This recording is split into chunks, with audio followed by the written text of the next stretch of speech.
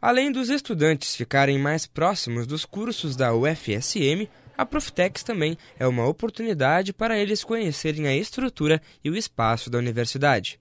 São verdadeiros turistas conhecendo o campus.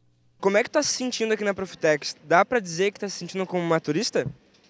Ah, com certeza, que é enorme, né? Bem diferente, bem interessante.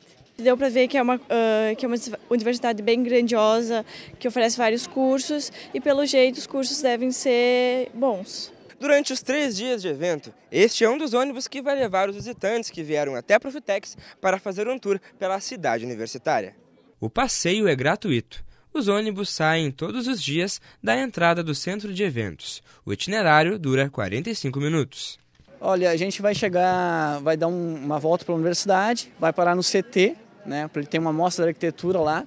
A gente vai mostrar para eles, fica uns 10 minutos lá, retorna, vai até o hospital veterinário, né? É, do hospital veterinário a gente retorna para cá e pega outra turma.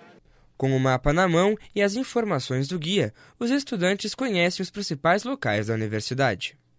Pessoal, esse prédio aqui, esse prédio à esquerda, à minha esquerda, é o, é o restaurante universitário 2, o RU2 onde parte do campus almoça aqui. O pessoal do Centro de Tecnologia, Centro de Educação, todo mundo aqui.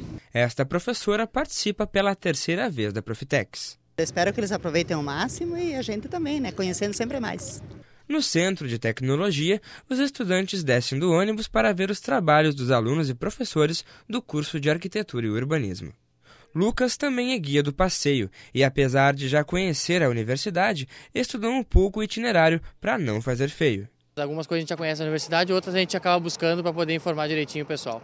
Apesar do tempo ser curto, Juliane, que pretende estudar na área de design, aprova o Minitour pela cidade universitária. Eu achei ótimo, conheci bastante, ele explicou direito onde funcionam as áreas.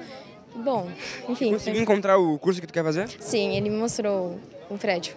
Vale a pena então. Vale.